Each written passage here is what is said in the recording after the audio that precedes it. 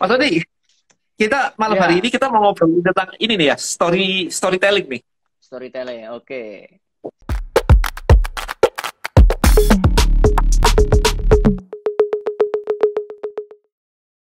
Nah, akhirnya Mas Odi apa kabar?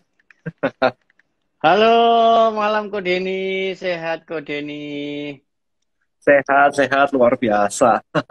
Mas Odi, kita malam Ya. hari ini kita mau ngobrol tentang ini nih ya, story storytelling nih.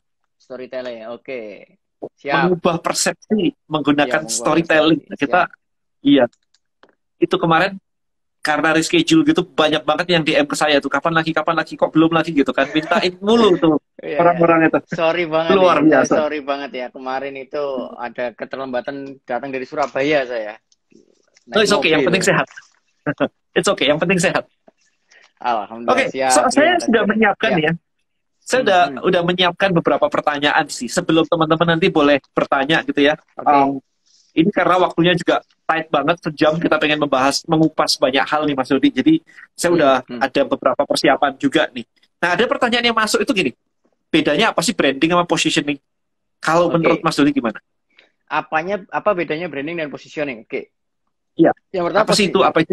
Ya, positioning dulu ya. Positioning Oke. itu adalah persepsi unik sebuah brand di pikiran konsumen. Oke, Oke, Persepsi persepsi unik, unik. sebuah brand di pikiran konsumen. Oke, kata Itu- kuncinya unik ya? ya kata kunci Harus unik. unik ya? Oke, kata kunci adalah unik. Nah, unik ini gimana? Unik ini banyak yang salah mengambil kesimpulan bahwa kalau unik saya harus lebih baik.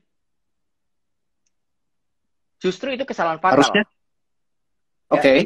Justru keunikan itu bukan dari menjadi lebih baik. Keunikan itu dibangun karena berbeda. oke. Kata kunci kedua berbeda berarti. Berbeda, betul. Contohnya gini, realnya bedanya unik, ah, bedanya lebih baik dan bedanya berbeda gitu ya. Apa bedanya antara kedua ini? Kalau lebih baik, contohnya misalnya saya ambil brand yang udah gede aja supaya lebih gampang dipahami karena kita sama-sama paham tentang Oke. brand itu. Contoh Pepsodent, Oke. misalnya menjanjikan bahwa gigi kita bisa lebih putih. Kalau saya buat pasta gigi yang saya bisa memutihkan lebih cepat daripada Pepsodent, itu namanya lebih baik. Ya.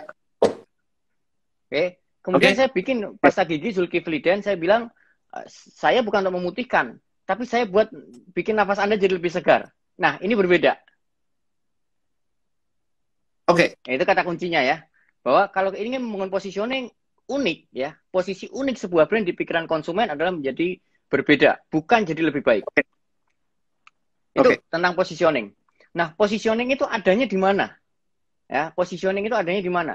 Positioning itu adanya dalam sebuah dokumen.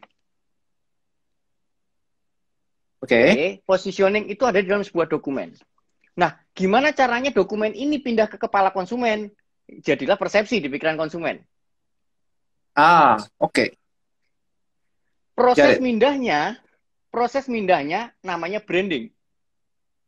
Oke. Oke. Jadi salah paham teman-teman kemarin bahkan kemarin saya barusan live kayak beberapa hari yang lalu, dua hari yang lalu begitu. Ketika ngebahas marketing dulu atau branding dulu, mereka berpikir branding dulu. Dalam Nah. konteks branding dulu adalah, ya kan aku harus mendesain logo dulu, mendesain packaging dulu. Itu kan proses branding tuh. Jadi Betul, kan harus betul. itunya dulu baru marketing tuh. Betul, betul, betul. Nah, bahkan gini, oke, ini pertanyaan menarik ya antara branding dan marketing. Ini ada banyak banyak yang berbeda pendapat. Perspektif. Ya, perspektif, banyak perspektif. Nanti teman-teman silahkan kompilasi dari be- be- beberapa perspektif itu, tapi saya punya perspektif yang berbeda, ya. Saya punya perspektif berbeda.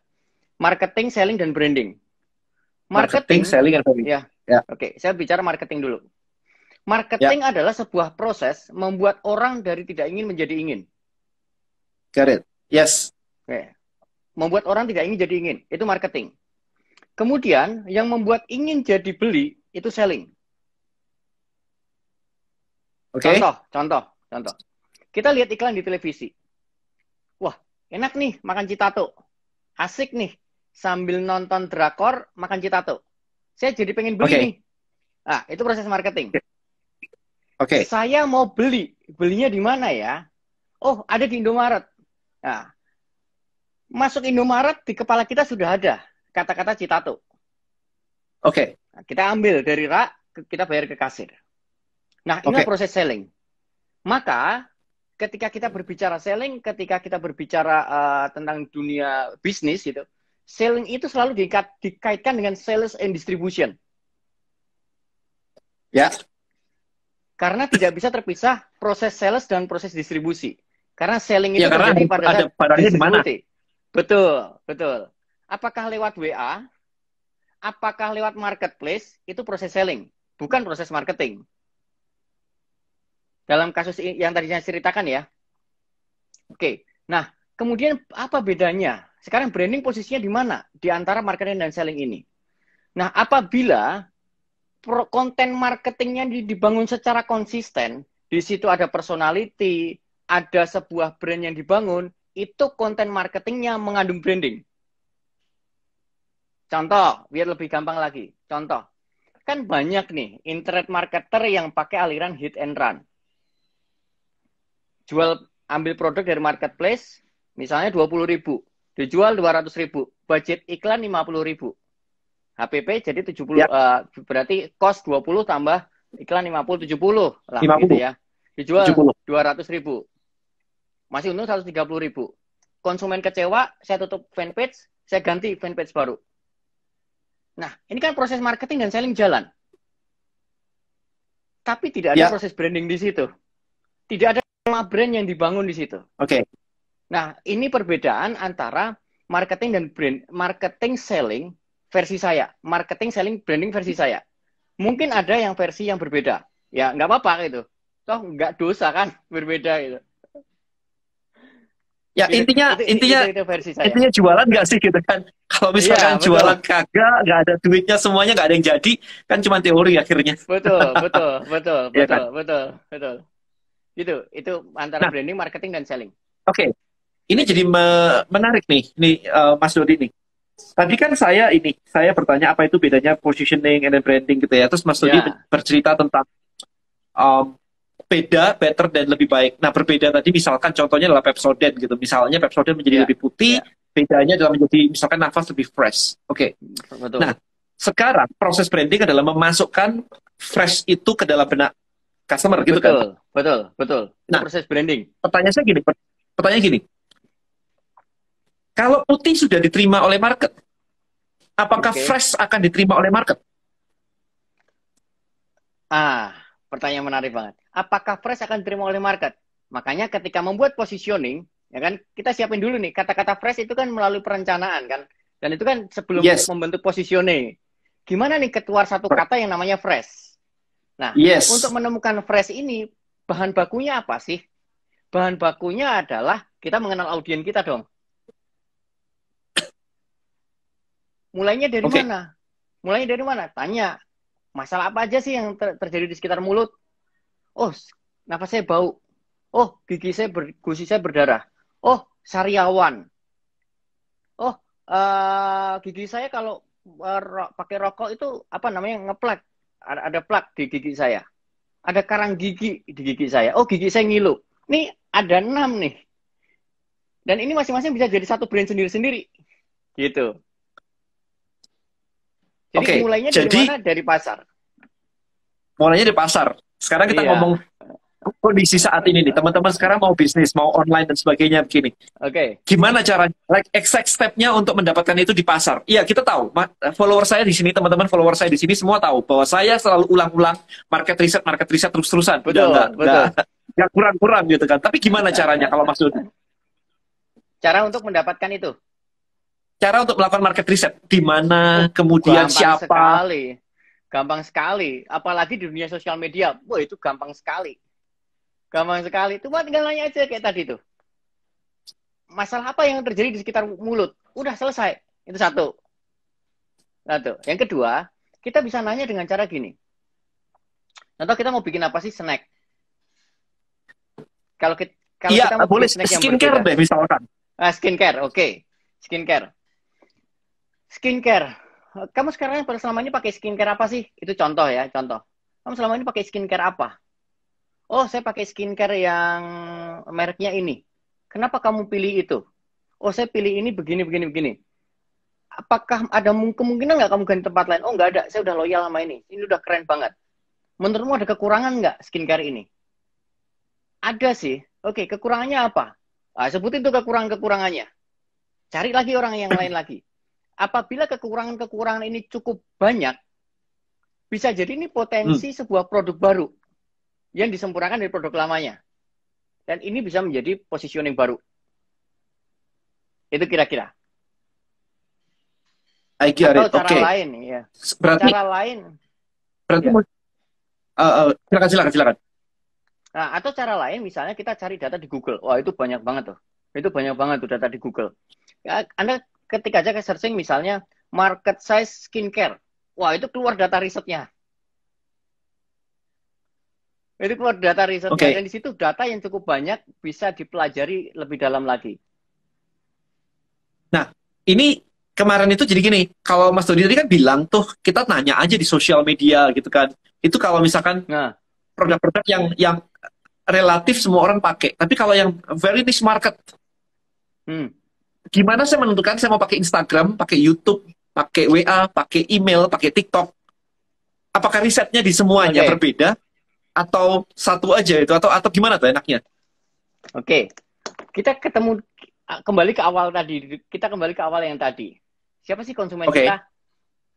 Kembali ke situ dulu. Siapa sih konsumen kita?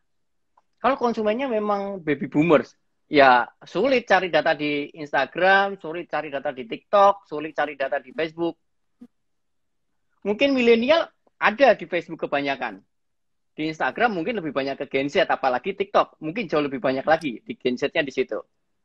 Nah, kan masing-masing sosial media ini kan banyak apa namanya uh, punya karakteristik konsumen yang beda-beda. Benar. Terus kemudian ada lagi akun misalnya.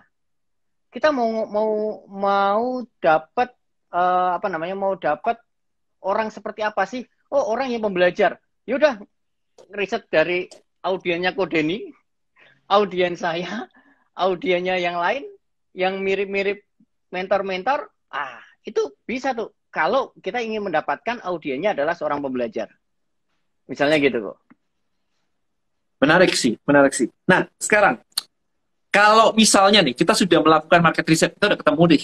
Oke, okay, saya mau bikin pasta gigi yang lebih menekankan ke fresh gitu. Nah, kemudian next step-nya kan kita okay. mau melakukan proses branding tadi kan. Untuk memasukkan betul, itu ke benak customer. Yes, Medianya betul, sekarang sama. Pertanyaan sama. Okay. Tadi kan market research nih, sekarang memasukkan. Yeah. Medianya seperti apa? Nah, ini oke. Okay. Saya mau cerita sedikit. Orang beli, orang membeli karena ada persepsi. Ketika tidak ada persepsi, tidak akan ada transaksi. Contoh misal tadi Correct. di awal, ada Pepsodent, ada Zulkifliden. Zulkifliden ternyata okay. saya buat di pabrik yang sama dengan Pepsodent. Tom Pepsodent pun di Maklon. Saya datang ke pabriknya, saya bikin pasta gigi yang sama. Bahan, formula, di tempat yang sama dengan tempat ngerjain Pepsodent. Saya kasih nama Zulkifliden. Kemudian saya saya lempar tuh Zulkifliden ke pasar. Oh, kan sama secara fakta, realita. Oke. Okay. Produknya sama nggak kualitasnya? Sama, persis. Nggak ada bedanya. Tapi okay. kenapa konsumen lebih memilih Pepsodent daripada Zulkifliden? Karena apa yang di Pepsodent dipersepsikan lebih berkualitas. Bukan Pepsodentnya berkualitas, tapi Pepsodentnya dipersepsikan lebih berkualitas. Nah, kata kunci yang hilang di sini adalah tentang persepsi. Konsumen membeli karena persepsinya, bukan karena realitanya. Itu satu kunci ya. dulu. Kemudian, ya. makanya proses branding, proses brand communication, proses marketing, itu adalah proses membangun persepsi di pikiran konsumen. Supaya apa? Okay. Supaya konsumen membeli. Nah, persepsi ini apa sih? Nah, persepsi ini bisa bisa dicangdon sebetulnya. Bisa dipecah. Apa tuh isinya persepsi? Satu, persepsi itu ter, persepsi yang pertama adalah trust. Yang kedua adalah need. Saya percaya, konsumen percaya terhadap sebuah brand, dan konsumen butuh terhadap brandnya, baru konsumen mau beli. Saya ulang teman-teman ya. Konsumen akan membeli dari sebuah brand apabila ada trust dan ada need. contoh. Malam ini, nih malam ini, misalnya kode ini jualan. Misalnya kode ini nawarin. Audiennya kode ini saya yakin percaya dong dengan kode ini. Trust kan? Sama kode ini. Kode ini nawarin nih. Malam ini teman-teman saya mau buka nih. Market research untuk properti. Siapa yang mau beli? Yang mau beli kemungkinan besar orang-orang yang bisnis properti. Kemungkinan ya. Yang bisnis yeah. properti mungkin mau beli. Tapi sebagian besar yang bisnis online, yang bisnis yang reseller, nggak mau beli. Walaupun percaya dengan kode ini. Terasnya ada, tapi need-nya nggak ada. Kebutuhan terhadap produknya. Kita balik sekarang posisinya. Need-nya ada, tapi trust-nya nggak ada. Ini misalnya nih ya teman-teman yang muslim di sini. Misalnya anggap aja ini nggak corona. Udah pengen umroh. Ada duitnya. Nggak corona, anggap aja begitu. Kebutuhan, keinginan untuk umroh ada, need-nya ada.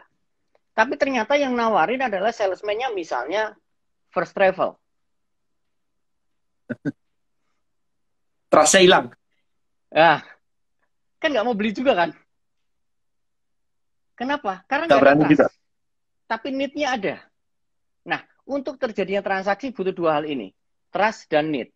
Sehingga konten-konten untuk membangun need, eh sorry, konten-konten untuk membangun persepsi, isinya tentang dua hal ini aja. Konten tentang membangun trust dan konten tentang membangun need.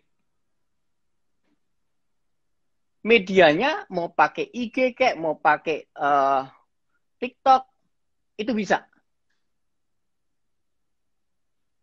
Disebar gitu ya jadi ya? Iya, disebar. Nah, ini saya mau cerita nih. Ada yang menarik nih. Mana dulu yang tadi dibangun trust dan need? Mana dulu yang dibangun? Kalau saya trustnya duluan. Kalau sudah trust, need itu lebih mudah untuk dibangun. Kalau udah trust, need lebih mudah untuk dibangun. Tapi kalau memang nggak ada trustnya, kita proses membangun need, itu kita nggak dipercaya. Kalau ada need-nya, nggak ada trust-nya, beli di toko sebelah. Nah, betul. ya kasusnya tadi. Yang ada trust-nya. Zulkifli dan Pepsodent tadi. Karena lebih okay. trust ke, ke, kepada Pepsodent. Walaupun Zulkifli didistribusikan di market yang sama. Sama-sama di marketplace misalnya. Orang lebih milih Pepsodent daripada Zulkifli dan Walaupun harga Zulkifli saya kasih lebih murah. Ya, ya, ya.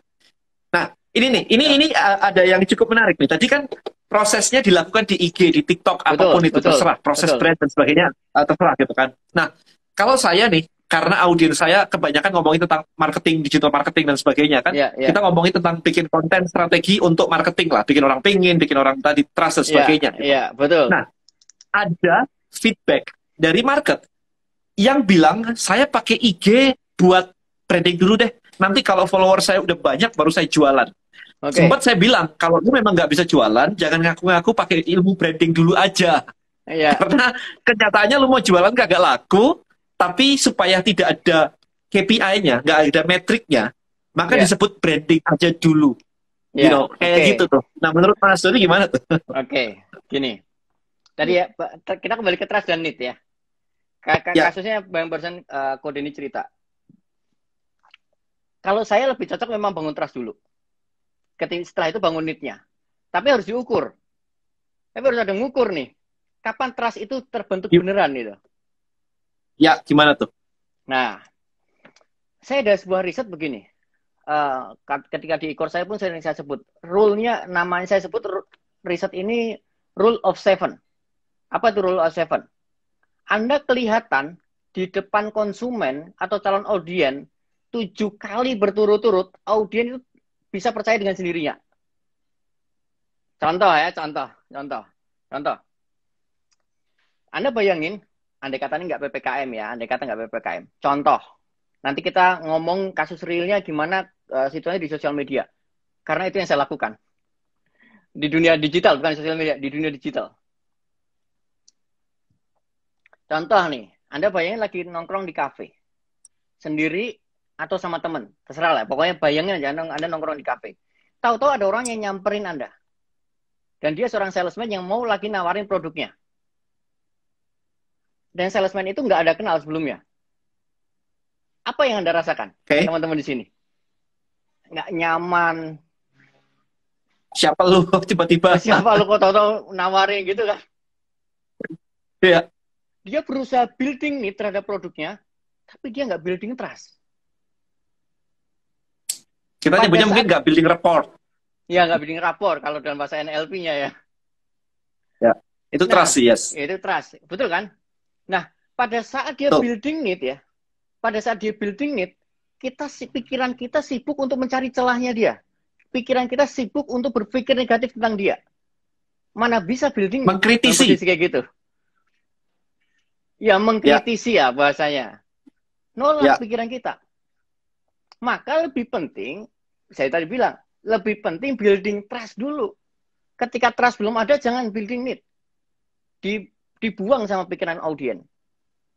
Nah, gimana cara building trust dengan cara yang simple? Tadi risetnya, Anda nongol tujuh kali, ya Anda nongol tujuh kali, itu otak kritis kita, otak reptil kita, itu sudah nggak on lagi. Sudah off, udah mati itu. Contohnya kalau dalam kasus kafe tadi, misalnya nih, Anda nongkrong rutin tujuh kali sehari. Eh, sorry, tujuh kali sehari. Seminggu tujuh kali. Ya, ya. Seminggu sekali, misalnya setiap Senin. Nah, kalau salesman ini tahu misalnya ilmu ini, apa yang harus dilakukan? Salesman ini nongol setiap Senin di depan si audien ini. Nggak usah nyapa, nggak usah nyapa. Cukup nongol aja. Nongkrong aja, udah. Senin pertama, kedua, tiga, empat, lima, enam, tujuh. Ah, baru nyamperin. Nah, di situlah otak reptil, otak kritis sudah mulai mati karena dia karena otak ini sudah sudah memberikan sinyal familiar saya dengan wajah ini. Kamu ngomong apa? Lebih open pada saat Yes, itu. yes. Ya, Nah, itu itu alasan gimana, kenapa Gimana penerapannya di dunia digital? Ya itu Ya, alasannya gimana? kenapa saya punya 700 video di YouTube nih.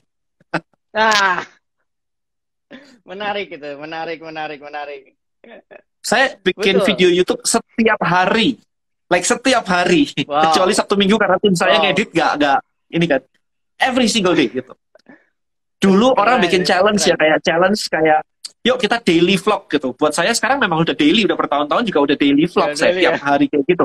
Iya. Dan lagi habis itu ada di podcast, ada di TikTok, ada di Instagram, ada di Reel sekarang. Semuanya. Iya.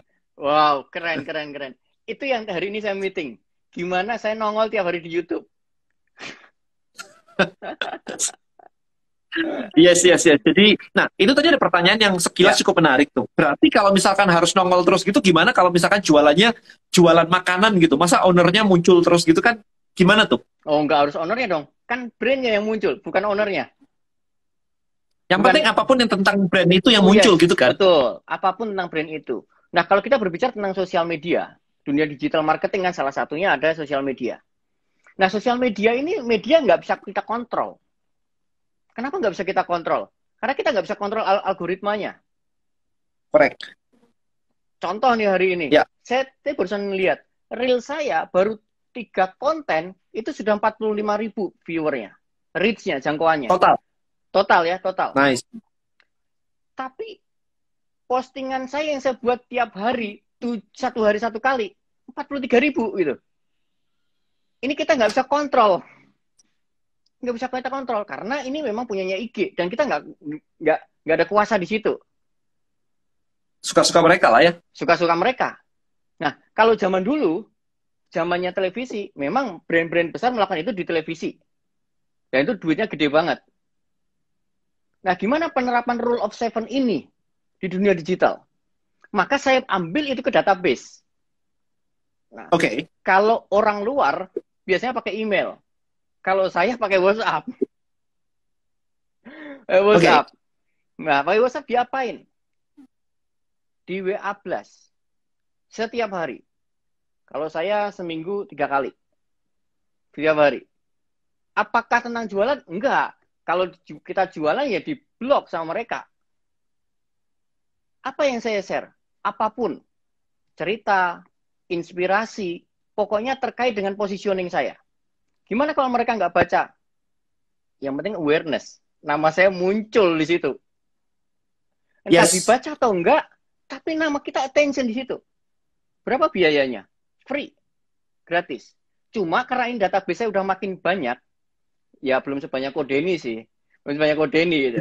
Tapi saya mulai berpikir, ini kalau database saya makin gede, ini nggak bisa lagi pakai WA Blast. Makanya kemarin saya lagi mempelajari Tribelio. gitu Kodeni. Saya lagi proses hijrah gitu. Eh, Ke WA sama Tribelio. Ini harus dipindah. Karena fitur-fitur Tribelio ini benar-benar ini sesuai dengan apa yang saya inginkan gitu. Apa yang dibutuhkan dengan Rule of. Seven tadi. Gitu kok Denny. Iya. Saya memulai ini kan jadi gini, waktu saya build Tribelio itu saya punya pengalaman digital marketing kan dari 2007 ya, jadi udah 14 Ya. tahun. Nah, Wow. waktu awal-awal, waktu awal-awal itu saya simpel banget tuh bikin landing page, kemudian saya tulis gini, masukkan nama dan emailmu. Itu di tahun 2008 loh teman-teman. Indonesia bisa loh.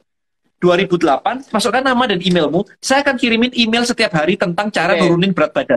Oke. Sesimpel itu. Oke. Nah, habis itu tiap hari saya email. Every day saya email. Ini loh, cara menu breakfast, menu makan Ya. siang, menu makan Ya. malam. Besoknya tentang olahraga. Besoknya lagi tentang suplemen. Hari keempat, hari kelima saya jualan. Oke. Sesimpel itu. Nah, Ya. habis itu ya emailnya nggak jualan terus sih. Kadang-kadang apa, kadang-kadang apa, Ah, kadang-kadang apa gitu Iya, kan. iya, iya. Gitu. iya. Memang memang kayak begitu. Tapi yang bi- bikin saya eh, menarik adalah karena orang jadi itu tadi Mas Dodi jadi ceritakan diajarin secara berurutan. Yes, betul Jadi sekali. orang yang sama dapat beberapa kali dan Betul. saya bisa meyakinkan diri bahwa dapat urut, Iya, ini confirm. urutan. Betul. urut Betul sekali. gitu kuncinya. Betul, betul. Kata kuncinya itu. Betul, karena itu Nah. nggak bisa dilakukan di sosial media. Karena ada algoritma IG, ada algoritma TikTok, Yes. dan itu yang nggak bisa kita kontrol. Bener banget. Cuman email ada problem. Nah ini ada problem nih. Pertama seneng banget. Hari keempat laku, hari kelima laku, sebulan laku banget. Jadi kayak super seneng banget laku banget gitu kan. Problemnya satu. Begitu member saya nginjek 20 ribu waktu itu, semua pada nanya, dan makan ini digoreng boleh nggak? Ini ditumis boleh nggak? Kalau pakai Oke. suplemenmu ini diare nggak? Keringet dingin nggak? Deg-degan nggak? Ribuan men sehari. Jadi sehari itu Oke. kayak sehari ya, satu hari ya, itu bisa email kayak 80 email. Saya harus balesin satu satu satu satu. Setiap hari dan itu bertambah karena usernya Ah. tambah gede di iklannya soalnya. Ah, itu Pusing. yang terjadi. Itu yang terjadi. Itu yang terjadi. Itu- eh, Oke, oke, oke, oke, oke. Jadi saya udah Oke. udah udah udah lewatin itu. Nah, Ya. karena itu terjadi, saya melihat nih perpaduan antara sebuah komunitas Ya. dengan email ini jadi solusi. Karena begitu ada orang nanya di dalam komunitas, kita jawab atau teman lain jawab, semua baca nggak ada yang nanya lagi. Hmm. Kalau nggak kan nggak ada yang Ya, tahu. ya, Jadi ya, kita ya, punya ya. database nih kayak seribu email gitu. Betul. orang betul, pertama betul, sama betul, orang betul, seribu nggak ada yang kenal, nggak ada Iya, yang ngobrol. betul, Jadi betul. mereka nanyanya ke saya semua pusing kita. Oke, oke, oke, oke, oke, oke. Itu. oke, Nah. Saya pernah pakai Telegram. Waktu itu di 2016 tuh saya pakai Hmm, Telegram. Ya kurang lebih mirip ya, Telegram, WA, Discord itu juga kurang lebih mirip. Problemnya satu. Ketika saya invite masuk nih, ramai banget masuk gitu kan, cerita, uh seru banget nih, aktif banget nih gitu. Ya. Begitu aktif banget, di certain titik orang itu kewalahan. Begitu kewalahan dia mute. Nah, begitu di mute ini yang Oke. jadi problem nih di Telegram nih. Di di broadcast nggak bisa, di apa-apain nggak bisa. Ini kita ngomong Telegram, Discord gitu sih. Itu itu beberapa kendala yang yang kemarin saya ya, saya hadapi gitu kan. Jadi wah pusing juga nih pakai Telegram kayak begini nih. Begitu udah gede nih. Tapi kalau teman-teman baru mulai pertama kali ya semuanya oh, oke-oke aja, nggak ada masalah. Cuman kan saya mikirnya adalah how to build a scalable um, ini sih sistem gitu. Sehingga Nah, saya bikin sekali long termnya lebih lebih aman kurang lebih kayak begitu sih nah sekarang kita ngomong ini tadi uh, balik Oke. lagi nih Mas Udi kalau storytelling sih storytelling ya, biasanya structure storytelling itu kayak gimana sih oke. Structure Kan storytelling. kita tahu ya Ya. storytelling gitu teman-teman storytelling gitu tapi Betul. terus habis itu penerapannya gimana sih kayak strukturnya itu ada Oke. kriteria khusus kah Ya, ya. Mungkin nggak bisa detail ya saya cerita tentang storytelling gitu ya. Tapi gini, boleh storytelling, nah, storytelling ini, storytelling itu jangan di jangan dibayangkan bahwa ini cerita yang panjang gitu. Oke Ada yang ngebayangin storytelling itu harus cerpen, harus bentuknya mini web series. Bukan. Bukan bukan bukan itu storytelling gitu. Pokoknya sto Terus gimana? tuh? storytelling tuh pokoknya gini. Intinya ada ada karakter, satu ada karakter. Ya, ada karakter. Karakter. Yang kedua karakter ini punya masalah. Oke. Yang kedua, yang sorry yang ketiga punya masalah dan dia cari solusi. Nah, pas mencari solusi dia ketat ketatap sama tembok. Oke. Kemudian gimana cara melompati temboknya supaya dia bisa menyelesaikan masalahnya? Berarti masalah kan ada ada jadi ada dua. Masalah pertama dan masalah temboknya itu tadi. Nah, proses menemukan cerita, it- proses menemukan solusi-solusi itulah sebetulnya di situlah ceritanya. Karena Oke. cerita gini, contohnya gini, ana- analoginya saya ambil misalnya televisi, eh, kita nonton Avenger lah. Kita pasti tahu bahwa Thanos itu mati, itu sudah pasti gitu. Pikiran kita tahu bahwa itu di akhir cerita pasti mati. Tapi Oke. yang dinikmati audiens, Anda menikmati bukan kematian Thanos. Yang Anda nikmati adalah perjalanan kematiannya. Kok kayaknya ya oke. I agree. Gitu ya? Oke. Audien ini sama. Audien sama. Audien Instagram, Facebook. Menikmati cerita, gimana ceritanya si karakter ini bisa menemukan solusi. Perkuatlah di, di, di situ ceritanya. Contoh misalnya gini. Bagaimana penerapannya ini? Contoh. Kalau Anda pasang testimoni, cuma before after, itu sering kali nggak ngefek. Seringkali nggak ngefek. Hilang itu- ceritanya ya. hilang ceritanya. Karena itu sama ngasih tahu aja sebentar lagi Thanos mati. Apa yang Ya. asik di cerita? Apa yang asik di situ? Yang dinikmati audien adalah proses transformasinya. Apakah masuk akal proses transformasi itu? Apakah posisi awal dari karakter ini sama dengan saya? Kata audien. Contohnya misalnya, saya dari UKM, dari nol saya ngerintis bisnis.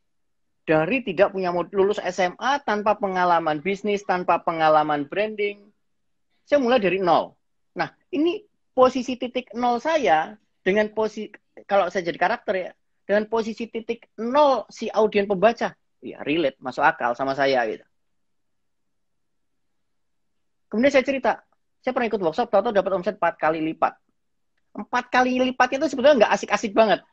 Yang lebih asik buat audien adalah menceritakan proses keempat kalinya. Apakah ceritanya mulus-mulus saja? Ini audien juga nggak suka. Kalau nggak ada batu, nggak ada temboknya tadi,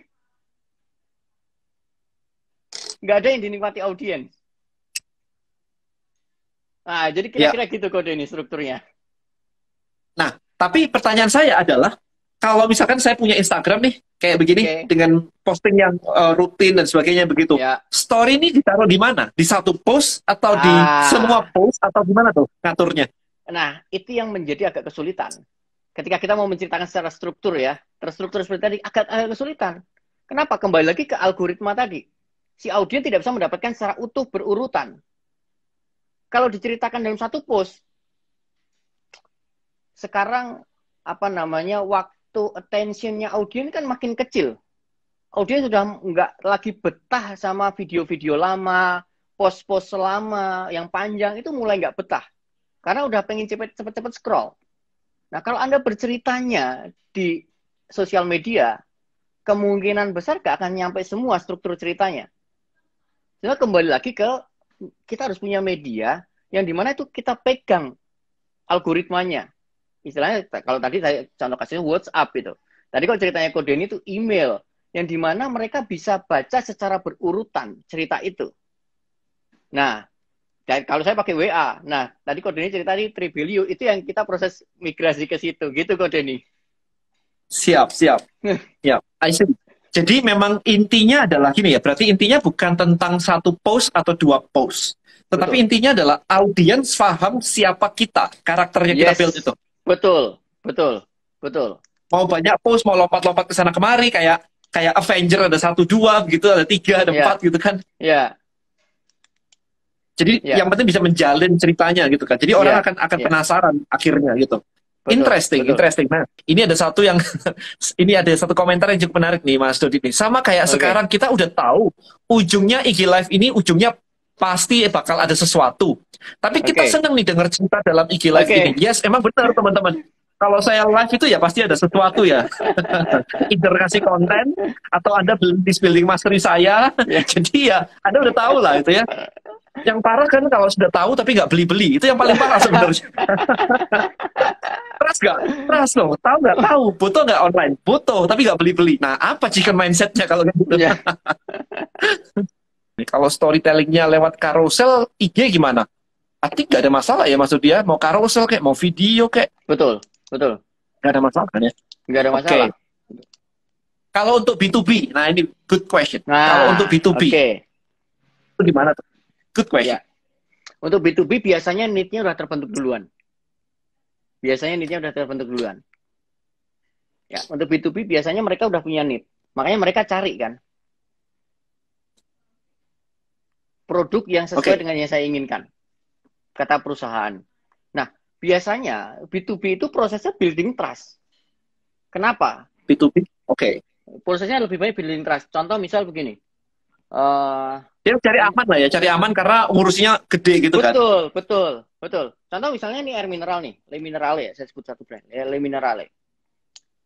Orang mau beli Le Minerale atau mau beli aku atau mau beli Fit atau beli apa pun, kalau intinya gini, kalau Anda salah beli sebagai konsumen, Anda ada merek baru Le Minerale Anda coba, kok nggak enak ya? Resiko yang Anda tanggung kecil. Ya paling cuma 2000 3000 doang. Anda bisa beli ulang. Resiko yang ditanggung kecil. Sehingga trust untuk produk-produk yang murah, bisnis to customer, sebetulnya tidak terlalu besar-besar banget. Beda sama bisnis to bisnis.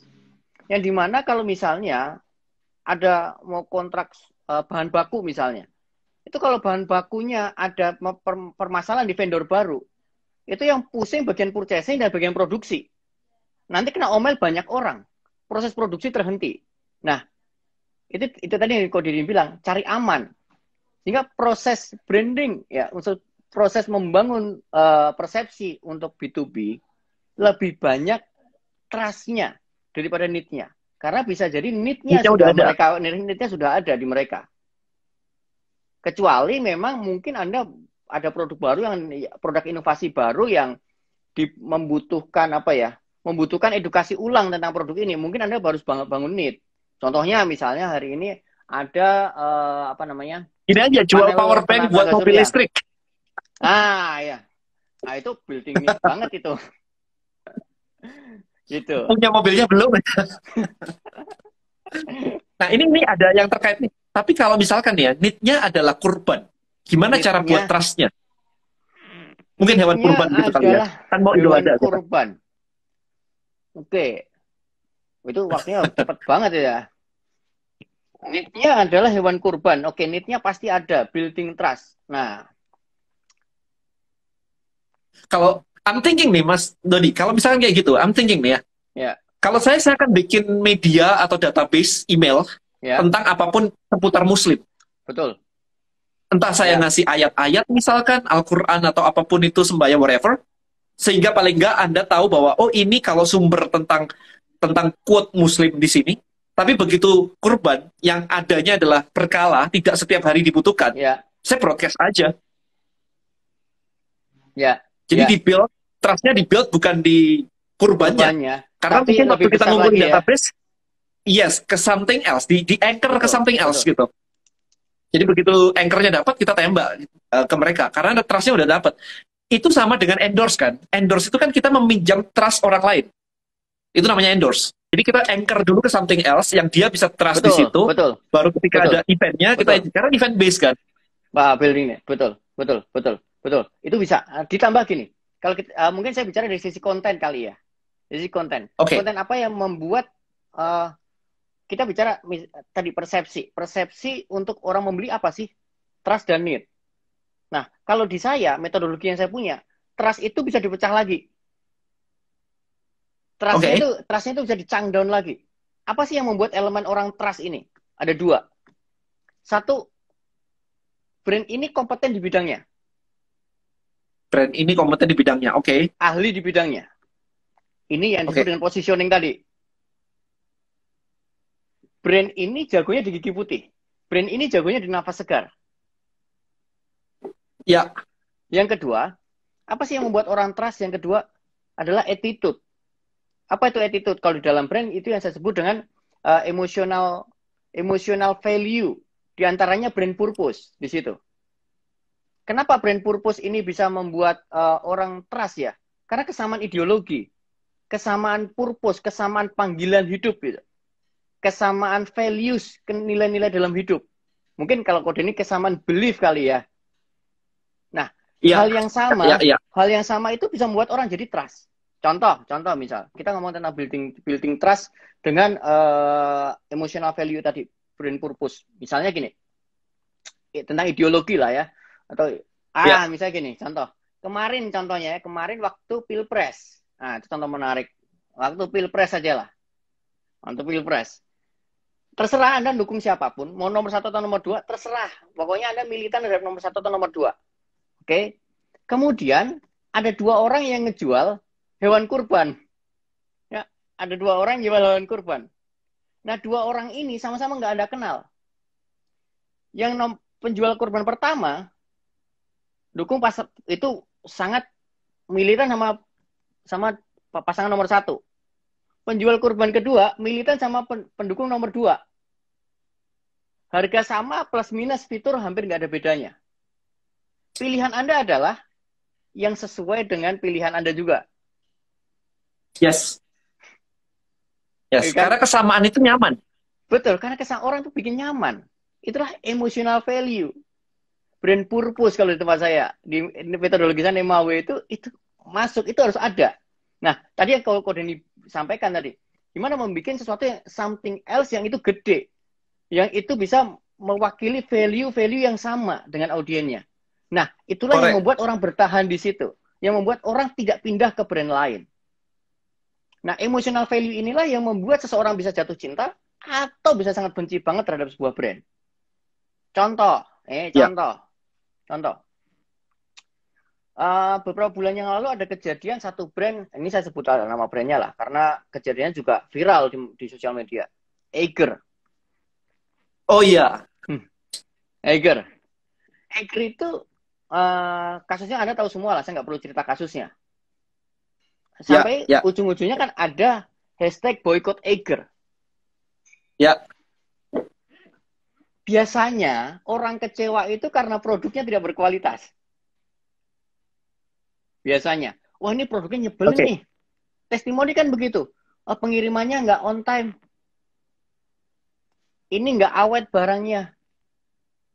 Ini YouTuber dan orang-orang yang uh, se-value itu selama yang selama ini sudah pakai Eiger nggak ada masalah dengan kualitasnya aman-aman saja nyaman-nyaman saja dengan Eiger kenapa kok tahu-tahu ikut-ikutan boykot karena Eiger dipersepsikan punya attitude yang tidak baik yaitu anggap aja sombong.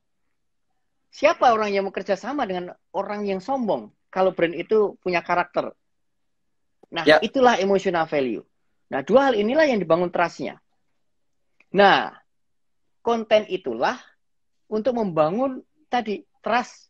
Kok caranya mungkin bisa pakai kalau saya sih kalau teman-teman sini saya rekomendasikan Tribelio deh daripada WA repot banget saya ngerasain repotnya saya ngerasain repotnya banget banget saya ngerasain repotnya membangun building trust belum lagi kalau ke band nomornya karena itu kan jalurnya nggak resmi satu satu yang yang saya kemarin tuh repot tuh gini. Kan kita pengen muncul tujuh kali secara berurutan tuh, Mas betul Dodi. betul betul Ya kan? betul Nah, kemarin Betul. tuh waktu pakai WA, saya kumpulin di grup WA. oke Ketika hari pertama ngumpulin ada 50 orang join.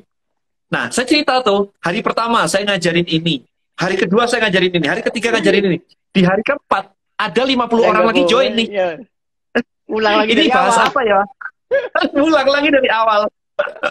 itu pusing gitu. Terus yang lain-lain jadi bosen sama kontennya kan, karena diulang betul, lagi gitu. betul, betul, Saya kayak, betul. aduh, capek juga ini ya kayak begini ya. Itu sih, itu kendala-kendalanya kayak Iya, gitu sih. iya, iya. Betul. Itu. So, ya, I think uh, buat teman-teman, um, kita punya banyak social media, kita pu- punya banyak tools gitu. Tapi yang jadi intinya adalah kita harus memiliki something yang menjadi milik kita ini loh. Saya punya, Betul. Mas Dodi tahu, saya punya follower di Twitter itu hampir setengah juta di tahun wow. 2012. 2012 loh, bukan hari ini. Tapi begitu semua hijrah ke Instagram, sekarang nggak ngefek itu setengah juta. Kalau dulu kan saya ngomong apa tweet sekali gitu, udah sold out, udah sold out begitu setengah juta. Main zaman dulu kan belum banyak yang pakai. Kalau hari ini setengah yeah, juta yeah. kayaknya kecil ya. Zaman dulu itu hampir 10 tahun yang lalu teman-teman, 2012. Saya ketemu istri saya aja di Twitter. Salah satu follower saya stalking habis itu jadian kan gitu. Jadi ya Twitter berjasa lah buat saya gitu kan. Hmm, hmm, hmm. Nah, jadi gimana caranya kalau buat saya itu kita pakai sosial media semua. Ya, Oke, okay? kita pakai sosial media semua.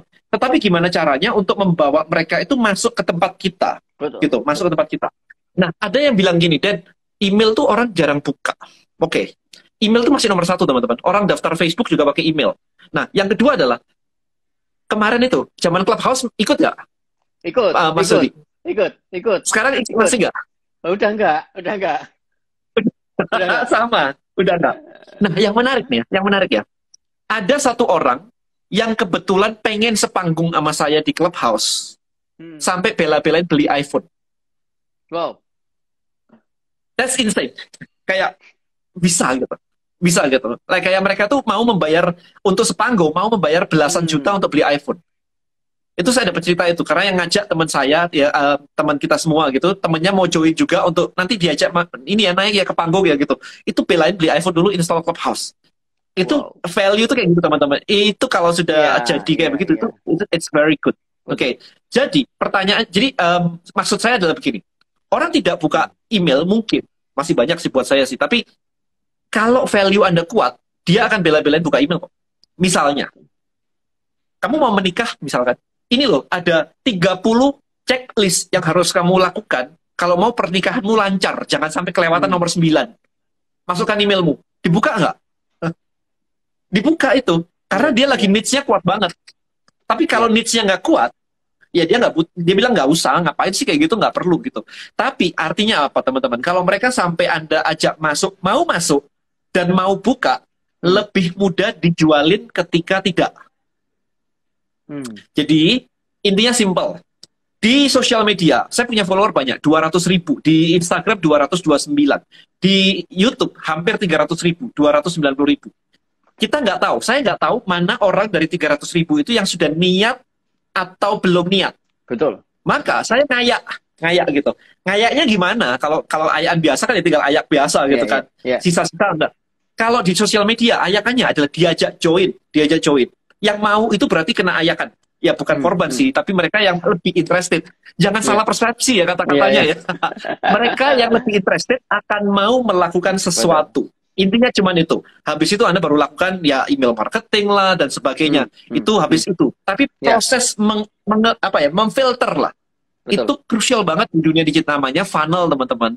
Cuman kalau funnel cuman ngomong doang cuman landing page ya bukan funnel. Funnel tuh harus ada kayak corong gitu loh, yeah. lebar, mengecil, mengecil, mengecil gitu. Sambil during the flow dikasih storytelling tadi. Iya, betul. Gitu ya kan tapi kalau orang sudah siap beli mungkin mereka nggak butuh storytelling kalau orang sudah siap beli tinggal dikasih itu betul hajar karena offer. sudah ada Nitnya ada, trustnya ada, ada, hajar benefit aja udah pakai ini benefitnya ini betul, ini ini selesai gitu. Betul. Anyway, saya ngelihat brand-brand besar, waktu di kayak kita ngomongnya gede aja deh, ticket.com, traveloka.com.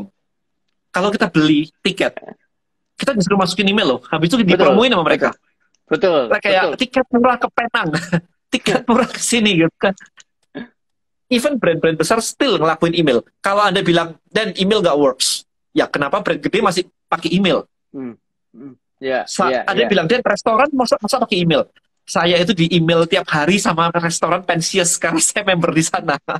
nah, kayak challenge hari pertama, challenge hari kedua, makan apa chicken apa gitu-gitu. Masih, teman-teman. Still working. Nah, email itu bukan untuk di broadcast doang. Ini banyak yang nggak paham. Mas Dodi kan tahu, hmm. email itu bisa diupload ke Facebook Custom Audience. Oke, okay. oke. Okay. Terus diiklanin. Jadi kalau Anda dapat email dari member, dan orangnya nggak buka email, nggak ada masalah. Kita upload dia ke Facebook, kita iklankan munculnya di Instagram. Lah kan powerful sekali, teman-teman, kalau Anda bisa ngelakuin ini semua. Anda nggak tahu aja. Jadi jangan jangan istilahnya jangan kayak menolak sebelum tahu gitu loh. Kan dalamannya bagus tuh. Mas Dodi, kita waktu sudah hampir habis nih. Ada pesan-pesan khusus kah sebelum sebelum kita akhiri dan teman-teman pada rombongan untuk join ke link yang ada di sini bit.ly slash Dodi X Denny. Jadi sebelum mereka join, ada pesan-pesan kah buat mereka? Oke, oke, gini teman-teman ya, kembali ke bagaimana sih cara membangun persepsi. Membangun persepsi itu karena persepsi apa sih yang perlu kita bangun? Trust dan need. Gimana cara membangun trust? Nah, repetisi tujuh kali itu cara salah satu cara untuk membangun trust. Nah, gimana kalau budget saya kecil, budget saya terbatas? Dengan dunia digital kita bisa melakukan itu dengan gratis. Bahkan bukan kalau bukan gratis ya murah banget lah dengan dunia digital. Murah lah, murah. Ya. Murah, enggak murah. gratis mungkin murah lah ya dengan murah. Itu dunia digital memfasilitasi itu. Zaman dulu kita memang harus pasang iklan di, di televisi untuk bisa repetisi berkali-kali budgetnya miliar. 10 M itu kayak kalau bahasa Jawa tuh nguyahi segoro, menggarami air laut 10 M itu nggak ada artinya di, di, di televisi. Tapi satu juta itu Anda bisa dapat banyak hal di dunia digital. Nah, terus gimana mulainya? Jangan pernah mulai dari kita ngomong seluruh Indonesia kalau Anda mau kalau Anda berpikir seperti itu, Anda akan berpikir besar banget. Dan itu jadi nggak make sense. Saya selalu bicara, mulailah dari scope yang paling kecil. Anda bisa kelola berapa? 100 database. Ya udah 100 itu yang penting bisa ngelihat 7 konten Anda. Itu dulu udah. Daripada Anda menyebar 100 ribu tapi hanya sekali. Lebih baik 100 orang tapi continue. Anda kelola itu database, maka itu akan jauh lebih efektif. Itu pesan saya, konsisten dan continue. Mantap, luar biasa. Kita punya satu alumni di mana membernya dia di Tribelio itu cuma 17. 17. Dan menghasilkan 45 juta. Gokil ya. Hari ini mungkin membernya baru beberapa ratus doang. Bukan ratus ribu ya, beberapa ratus doang. Omsetnya sudah di, I think 2 miliar sekian. Wow, wow. Kemarin ya kan ada asal yang... benar semuanya gitu. Betul, betul. Kemarin ada yang konsultasi ke saya. Tadi kayaknya orang komen tuh. Ada yang konsultasi one on one dengan saya. Dia cerita, saya itu diajari Tribelio sama Kodeni.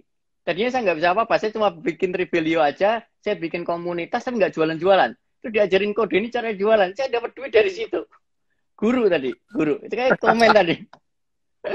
Oh sudah ya, saya udah, udah komen tadi. Nah, makanya saya saya tuh happy banget ya. Amin kayak saya bilang ke ke teman-teman yang kemarin tuh dapat 2 miliar, dapat berapa gitu kan. Saya nanya, kamu dapat 2 miliar tuh berapa bulan? Dari nol itu sekitar lima bulan. Dari nol. Jadi follower di Instagramnya dia bahkan cuman sekian, I think cuman di bawah 2000 deh kayaknya. Followernya itu masih dikit banget. Hmm. Jadi kalau Mas Dodi tadi bilang, ya udah ngomong di sosial media aja untuk market reset, yang dia lakukan adalah dia ngiklan untuk bisa nanya bukan okay. untuk jualan ya, untuk bisa nanya. itu saking niatnya tuh. Tapi ya ya karena niat banget begitu ya akhirnya jadi lima bulan yeah. dapat sekitar hampir dua eh, waktu lima bulan itu satu setengah miliar. Waktu lima bulan satu setengah miliar. Saya nanya, lah kalau kayak gitu bayar tribelionya berapa? Even bayar tribelionya aja nggak nyampe sejuta. Karena kita nggak sampai dua ratus ribu dan kali lima nggak sampai sejuta, tapi dia dapat dua miliar, eh satu setengah miliar gitu kan. Wow. So jualan apa? Ya itu cost of doing business lah. Eh, dia impor dari China. Okay. Jasa impor, jasa impor dari China gitu. Jadi ngajarin impor, kalau misalkan boto dia impor okay. dari China. Jadi yeah. angkanya gede-gede. Ya, kayak gitu. Ya kurang lebih itu teman-teman. Sekarang Anda screenshot ini juga, share ke teman-teman Anda, ke story Anda, dan tag saya Denny Santoso dan Dodi Sukifli underscore brand. Yes, tag, kasih. Anda dapat apa sih dari sharing kali ini? Ya bagi-bagi lah ya. Saya udah bagi-bagi masa anda nggak bagi-bagi juga? Gitu kan. Intinya kurang lebih seperti itu. Kita saling saling berbagi lah kepada teman-teman semua di luar sana. Oke okay, I think itu aja Mas Dodi okay, terima kasih you, sekali lagi pada malam hari ini udah hadir. Semoga teman-teman dapat manfaat luar biasa dari Mas Dodi. Sharingnya tadi luar biasa banget. Ideology value itu bisa membangun trust. So share itu build the build the value dari dari customer Anda, teman-teman. Jadi jangan cuma promosi doang habis itu nggak laku-laku. Kita pengen teman-teman di semasa COVID ini pandemi WFH juga tetap menghasilkan dari dunia online. Itu sih dari saya. Thank you so much Mas Dodi sekali okay, lagi teman-teman semua. Selamat, Selamat malam, stay healthy ya. malam. ya. Bye bye everyone. Thank you. Sampai ketemu lagi teman-teman.